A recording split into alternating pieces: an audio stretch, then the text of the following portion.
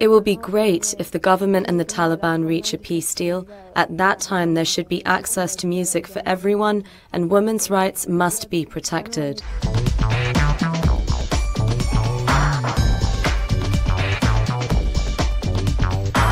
Uh, I hate the Taliban because of their violence, their conflict, atrocities they've committed, and their vision of war.